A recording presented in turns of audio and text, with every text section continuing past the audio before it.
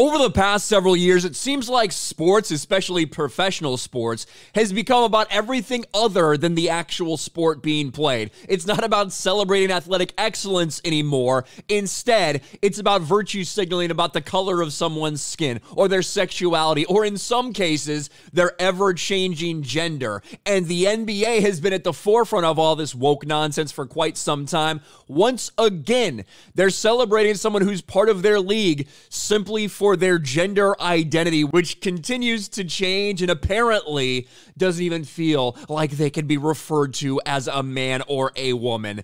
An NBA referee came out as non binary and trans in a new GQ profile. Not exactly sure how that works, to be honest with you. Uh, when you decide, well, I'm I'm transgender, but you're also non-binary, then what's the point of the trans part? Doesn't fucking make any sense to me. But again, whatever. The trailblazing ref wants to see more trans representation in the NBA, which is becoming less and less about basketball. You want to see more trans representation in the NBA? You want to see more female fucking basketball players pretend like they're men and get dominated, no one's going to make the NBA. No females are going to make the NBA, you fucking idiot. But anyway, let's get into this story. This is such a fucking joke. NBA welcomes first non binary trans referee. A biological female NBA referee came out as non binary trans male to be the first in NBA history to set this arbitrary benchmark. Yeah, it's basically making up some glass ceiling to break through. NBA ref Che Flores was highlighted in a new GQ article Monday, revealing the referee's trailblazing identity as a queer person and having zero to do with basketball. I'm to be real we shouldn't be having any sort of like articles or whatever about NBA officials or refs. We shouldn't know anything about these people other than the calls that they make on the floor. But here you have it. Sports and queerness can be a hard intersection to navigate, but NBA referee Che Flores is letting people on in on what it really means to be such a part of a community. Thank you, Che, for sharing your story with us. Gay flag, trans flag. NBA ref Che Flores becoming the first out trans and non-binary ref in American pro sports.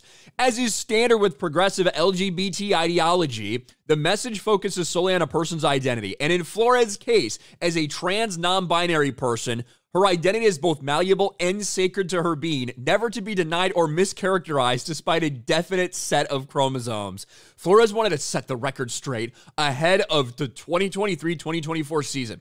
Last season, she officiated 35 NBA games. Oh my gosh. Stunning and brave. You're so experienced. Being misgendered as she, her always felt like a little jab in the gut.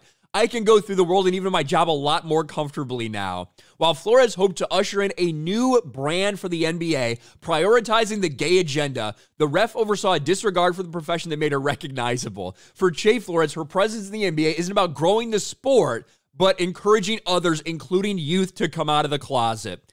As the NBA turns progressively more liberal, similar to most major American leagues, the message becomes less about basketball and more about pushing the agenda. That's really the question. What the fuck does this have to do with basketball? This is what the NBA is pushing. This is what the NBA is promoting. Trans, non binary officials bragging about how progressive they are to have somebody like this out there on the court. Yeah, I think this is the only way you're going to get trans, non binary, whatever the fuck out on the NBA court because it's certainly not going to be by a woman pretending to be a man and going out there and competing in the NBA. That's not going to happen. That's not realistic. They're not going to make a team. We're never actually going to see that. So it's always going to be this fucking pipe dream that people just put out there. The only time we see people competing, shockingly, is when men snap their fingers and decide they want to compete against women. Then all of a sudden they dominate for some reason. Strange how that works, isn't it? Let me know your thoughts about all this in the comments section below. Smash a like button, subscribe to the channel, ring the bell for notifications, share this video out there, and I'll talk to you later.